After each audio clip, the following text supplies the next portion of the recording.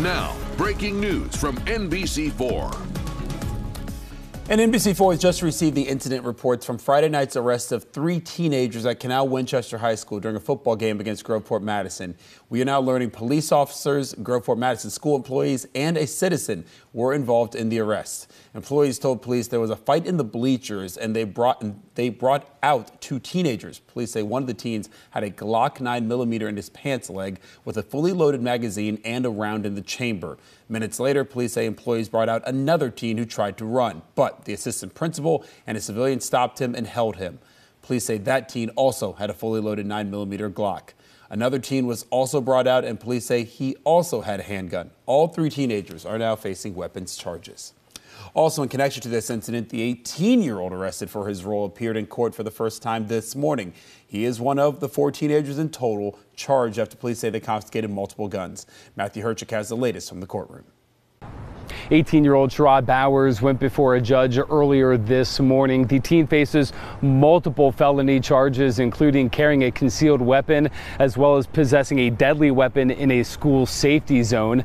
Friday's incident marking now the second time in as many years that the game between these same two schools has been overshadowed by guns and arrests.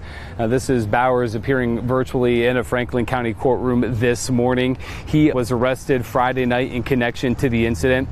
According to a message sent to members of Canal Winchester schools, a fight broke out on the away sidelines of the stadium just before 8 p.m. Officers with Madison Township Police removed the individuals, but according to an affidavit, a Groveport Madison school administrator approached police and told an officer they believed Bowers had a gun on him. After searching him, police found a handgun modified to be fully automatic. Police say they confiscated three guns in total. Bowers was handed a $150,000 bond and is expected back in court on August 29th. Meanwhile, in a statement from Canal Winchester, Superintendent Kaya Hunt said that none of the four teens are members at either school, adding, quote, the events at tonight's game are both scary and frustrating. Our students deserve to attend games with their friends and make memories without fearing for their safety. Now, Friday's incident comes almost exactly one year after police made arrests at the game between these same two schools.